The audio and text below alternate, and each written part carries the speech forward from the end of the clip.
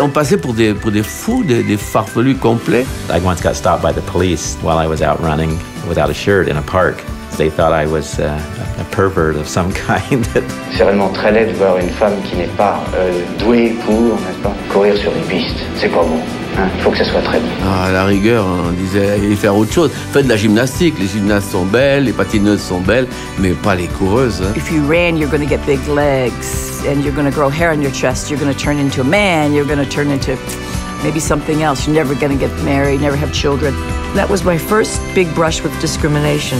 And I decided to play sports, be feminine, and be anything I wanted to be.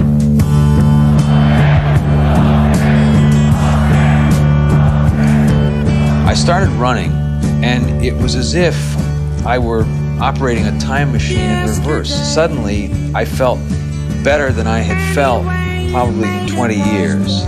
Les gens maintenant euh, ont envie de courir, ils ont besoin de faire autre chose. C'est que c'est un phénomène social, c'est un phénomène de société.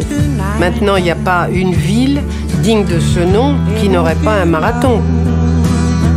When you run, you get this pattern of beautiful forms and colors, the leaves and the forest and the blue sky, and you're breathing the air, and you just you feel alive on this earth. And to me, it was always a miracle. Let these